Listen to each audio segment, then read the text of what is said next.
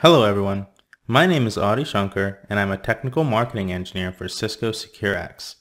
SecureX is Cisco's extended detection and response platform, making it one of the broadest and most integrated cybersecurity platforms on the market. SecureX integrates with the entire Cisco Secure portfolio from endpoint security to email security, network analytics, and of course, the firewall, as well as over 30 third-party products. In this video, we're going to talk about three reasons why Cisco Secure Firewall customers need SecureX. Before we dive into those three reasons, the first thing you need to know is that SecureX is a no-cost add-on. That means if you're already a Secure Firewall customer, you are already entitled to SecureX so why not reap the benefits of SecureX instead of leaving money on the table? Getting into the three reasons, reason number one, SecureX allows you to enrich firewall events with information from other security technologies to gain a deeper context as to what's going on in your environment. Reason number two, SecureX offers a range of one-click response actions. From blocking a domain on your firewall to opening a ServiceNow ticket, these actions help reduce threat dwell time.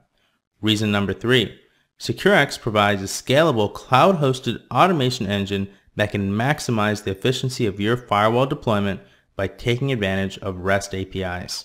Let's check out SecureX in action. From the Firewall Management Center, I can see some Impact 1 intrusion events have been detected. Now of course I could dig deeper into these events directly in the FMC, but what if I wanted to get additional context from the rest of my environment?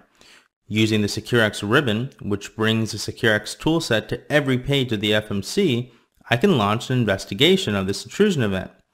Once my investigation completes, I can see that five technologies have returned results, and I can learn from the graph that this threat has actually entered my environment through an email attachment, which then connected to a malicious IP address.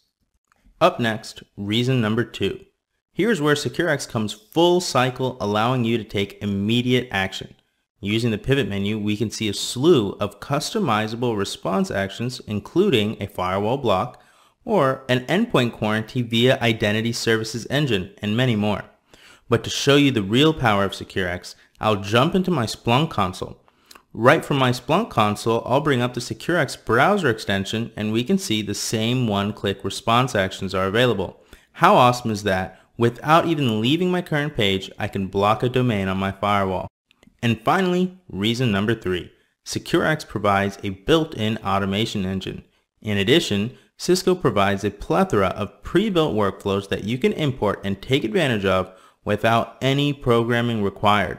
For example, this workflow can tremendously reduce the time required to manage policy.